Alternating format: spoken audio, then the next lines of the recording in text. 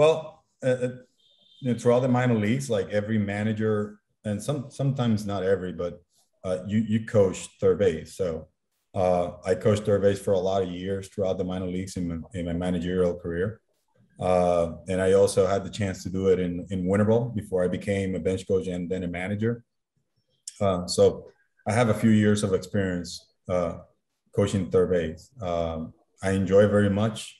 Uh, I like the anticipation part. I like the preparation part. Uh, I like the communication part. Like, and and at this level, uh, the connection with with the dugout too, and getting to know your manager style and what the top processes are and and and uh, and all that uh, I think is important. So uh, I'm you know still looking to learn some, learn some more things. This this game's still growing.